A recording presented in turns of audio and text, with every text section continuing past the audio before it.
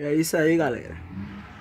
E aí, galera, é, o jabutizinho que eu, é, eu mostrei na, nos primeiros vídeos, se encontra aqui ainda, eu ele ali, debaixo da, das taubas ali. Tá, graças a tá com saúde, tá aqui, tá tranquilo, né? Nesse espaço todo aqui, galera, ainda, que é pra aumentar e fazer mais baia, para os porquinhos da Índia, que é o, o capim, né, que eu arranquei pra poder dar eles né? E é isso aí, galera. Tem esse espaço aqui, ó. Aqui nesse essa coberturazinha aqui é onde fica meus porcos da Índia, né? Nas baias.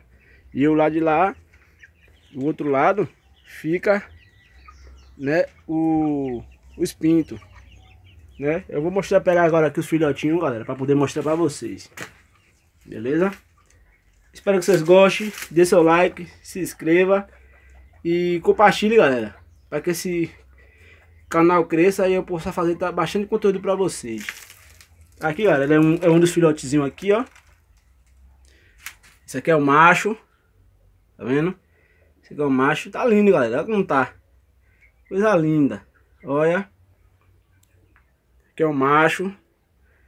Né? E o branquinho. O branquinho aqui, ó. Ele tá, tá ligeiro, viu? Ó. Aqui, ó. Esse aqui é uma fêmea, entendeu galera? Ali tá o coelho, né? Tem um reprodutor ali, tem outro aqui, né? A cabeça dele ali fora do bode.